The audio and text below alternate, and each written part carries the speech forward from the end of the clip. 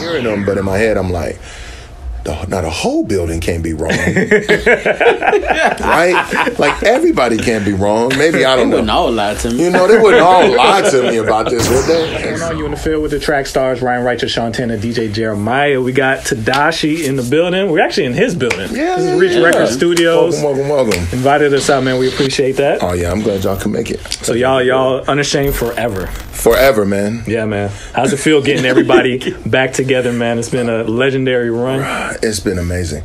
So, you know, initially, of course, there's always the hassle of logistics, and those can easily get in the way. Everybody's got lives. You know, we have we have wives, we have families, um, kids, and just a lot of stuff going on. A lot of guys, um, you know, getting married or um, dealing with loss in their own life, and just a lot of stuff happening all at once. And so to get everybody together, eight artists together at the same time, it was a big deal. So once we knew it was happening, bro, the excitement kind of started to rise a Yeah. little bit. Yeah, man. So it's fun. It's been great. How you feeling, man? Album season, like, Oh. how's it been going? I am, man. I'm. It's. I'm floored, bro. Like no lie, I'm floored by how everybody's responded to the music. Yeah. Man. It's been, it's been very encouraging to see the majority of the responses being, you know, we like it, we love it, or mm-hmm. you know, we enjoy it, or mm-hmm. man, when you said this in this song that meant this to me. It's just it, it all the prayers, all the hopes around the music seem to be coming to fruition, so to speak. It's like, oh, I I wanted somebody to hear in this one particular part about how they could keep fighting for joy. Yeah. Oh, that's happening. Oh, that really did. Somebody just testified to that. So it's just it's just dope to see, bro. Is it hard as an artist when you because he just dropped a project? I dropped Yeah. one a couple years ago. Come on. How, does it feel like that day? Like, okay, here we go. How they gonna take this? You good? And regardless, I was so nervous. Really? Bruh. So I hadn't had an album, like a full length out in five years. Oh, okay. And so for me, I, I know my I know my heart, I know my life, I know what I've um, tried to center it around message wise. And I and for the most part, whether it's through accountability and different people or my own thoughts, I'm like, I'm fighting for a biblical narrative, biblical Yeah. message Yeah. and perspective. So I see that being fruitful, but at the same time, I'm going, but do people care anymore? Will Yeah. they care? Um, you know, and then you also play the game of is what I'm doing um, quality enough for people to want Yeah. to sit Yeah. with it. Yeah. So you know, you got all those things in your head. And the building, everybody here at the label was they were super excited about it. Like, yo, best work you've ever done. We so we can't wait for people to hear it. Man, you spitting on this one song, man. What you said here is crazy. And and me, I'm hearing them, but in my head, I'm like. The, now the whole building can't be wrong, right? Like everybody can't be wrong. Maybe I don't know. wouldn't all lie to me. You know, they wouldn't all lie to me about this, would they? And so um, when it dropped, man, just the response, and even up until now, the response has been insane. It's been amazing. Dope. So I've just, I've just, I mean, again, I'm floored. Dope, dope. You got eight artists. How y'all coming up with the sets? How you figuring out which songs to, to perform and which songs to kind of hold off on? How are you doing that stuff right now? You got eight artists. If every artist got the amount of time that they really want to have, we'd be there for six hours. We'd be there for eight hours. It wouldn't work. So everybody had to agree up and uh, had to agree upon a time, um, and then once we did that, then everyone had to figure out what songs they could do to fit within that time. And honestly, when you really think about it, I if if I'm going to, you know, if I'm going to an Andy concert, I, I think he's put together some phenomenal work album wise, EP wise, but um, you can't stop me. Got to be on your set. Yeah. It just got So to y'all Okay, vote on okay. each other's yeah, sets. well, we, yeah, we definitely speak into it. So it's like, hey, T Dot, like we know you just dropped the album, so I think you should do some new stuff. But I mean, if, Yeah, if you ain't perform, if you ain't performing like Dum Dum or Riot, or if you not, if you not gonna do Jumped Out the Whip, then Yeah. what you doing? You know? and so we've just kind of gone back and forth on what that would look like ultimately. Um, but it's definitely been um, fun because some guys have, like Trip Lee is wired to be creative to the core. So some songs that we are like, why aren't you doing this song? He's like, yeah, it just don't fit my aesthetic. I'm like, okay. you said aesthetic, so clearly. He did, that was his words. He was like, it's already aesthetic. And I was like, all right, so clearly you already got a plan that we're not gonna be able to touch. So, but nah, it's been good.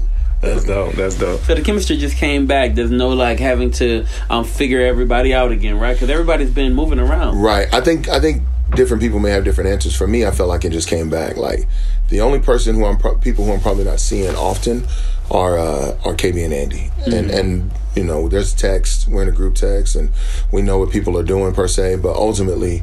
Um, Few, RG, Cray, and Trip up until recently all lived in Atlanta. Right, yeah. So it was easy to see them, get to, uh, like hang with their family, get time, and just kind of know where they are. So, nah, it, it was like clockwork, especially for um, the the like RG and Few, like Yeah. the newer guys. Yeah.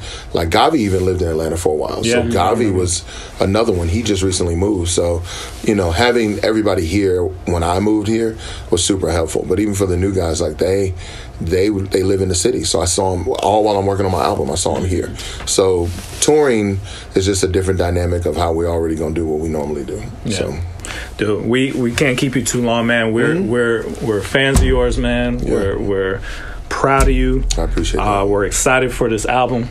Um, pray that it goes crazy. Yeah. Um, so, but we got to get you back in the studio for a long, long time, I so we would can really love to do that. So we can I'd get into to. it. I got we got two more minutes. We got a couple more minutes. Let's all do right. some more stuff. That's let's yeah, let's no. We got a couple more minutes. Let's do something else. So, tell me, Forget that, man. Forget that. tell me off the album, what what do you most like? Like, because you know, like I, I write too, so I'm uh, there's always like something I said or a song that like means a lot to me, Mm-hmm. but it may not be the single. It may, and I'm like, you always kind of like, I wonder if they gonna like this too. You know, is there something like special to you? Yeah, yeah. Um, so there's two that come to mind. The first one is the one with Crowder.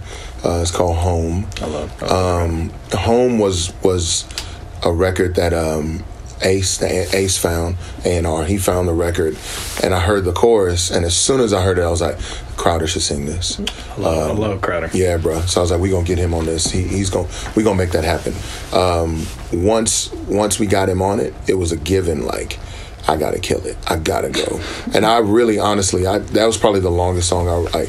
It took me a week and a half to write that. Really? Because every time I went back, I was like, no, I want this word to rhyme with this word, or I want this picture to be painted here, or Right. I want this emotion here. And then just the just to be able to communicate. Uh, like one line says, uh, "This world is death. You gave me breath. Told me I'm blessed. Um, I tried my my best. Lord, I confess I need your help." Like just those lines took me like two days because I wanted to make sure I captured what was true for me, but also what I think somebody else could re- like relate to when it comes to I've messed up. The whole song is about uh, the prodigal son. I'm speaking of son. Um, I apologize. good. Um, come in, man. Just, just check. Oh. Oh, I just knew that was Jaden. I just knew that was Jaden. We, done, we we got like one minute. Yeah, yeah. I just knew it was. I, I was wrong. Come in, son. I was wrong. I will be proud of my son for actually listening and obeying. That's amazing. Look at me. Look at me. Anyway, um, but the whole song is about the prodigal son and just his return. Okay. And that that angst right beforehand of, man, what would I do? What am I doing with myself? You know, and I I love hearing people speak on it because it's it's one of the most vivid testimonies in Scripture of um, of God's grace, but also um, our need of, of, of Christ, our need of the Lord. Yeah. But but the I just know we've all had that moment when you f- finally, if you ever had a moment of repentance, the moments prior to that where you just kind of come to yourself Yeah. and realize, like, man, what were you thinking? Yeah. Mm. idiot.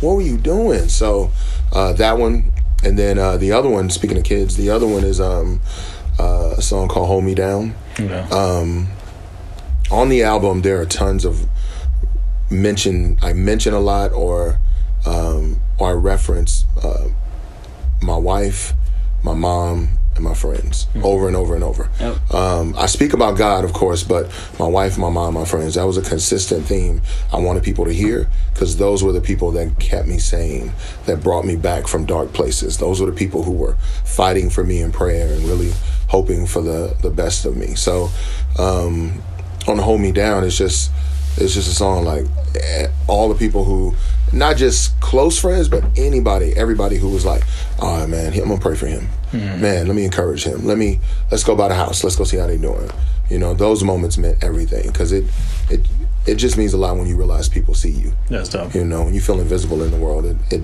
it you you almost feel like you don't matter. Yeah. And so those are the lowest places where you kind of think the thoughts that Satan would love for you to think. Of course. You know? Yeah. Um, but in those seasons of life, the people who held me down, that song is for them. And then I tell everybody, I was like, man, I I may be losing my mind, but kids have a way of always creating normalcy because they're gonna wake up. They're gonna want to eat. They're gonna have to. The diapers got to be changed.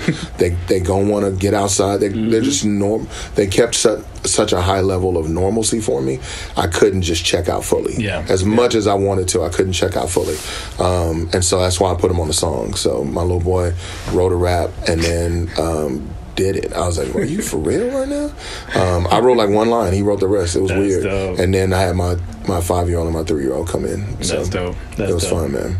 Man, we, we, we got to get you back in the studio, man. Yeah. Ever since you shot that video at the studio, I don't know if you know how I work. I started taking notes. Like, uh, I, who was the guy that shot that? What's his name? You? Uh, Mick. Mick. Mm-hmm. I, I, started pinging his brain. Like, we we started adding stuff to the studio. it Really? Like, I love it. I was that that inspired me so much, man. We appreciate you. I love that. I having know. us be a part of that. bro. Y'all, y'all family, dog. Y'all, and and we said often like we excited because y'all really are in the culture. Like it's not a, you know, it's just fun when you talk to people who get it, bro. Yeah. Because we we do a ton of these. Yeah, yeah, so it's fun when people get it, bro. All right, man. Yeah. Go ahead and take care of your Yeah, stuff, man. Appreciate, y'all, you. man. Sir, yes, thank sir. you. No doubt. All right, man. Hey guys, Miracle here. Thank you so much for watching that episode. Make sure you go below, like it, subscribe, click the bell, and make sure you follow us on all forms of our social media. Also, check out our website and be sure you spread the word.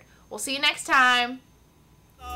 We know not what we doing. Screw that, they know, let them have it, do it. Okay, I'm erratic, prove it. Never mind, got a mind that'll wind up with me in a lineup behind bars with these bars. Okay, my time's up. Team Freedom. Yeah. We not through yet. All right. Trackstarz Music presents. Turn my volume up, turn me off.